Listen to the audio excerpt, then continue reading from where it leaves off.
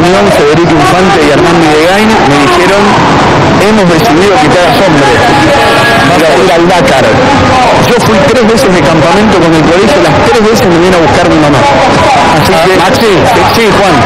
hay alguien que te va a acompañar en esa aventura porque Diego Peñalba está debutando con el Dakar, así que otro debutante como Maxi Palma que va a ser su primer Dakar.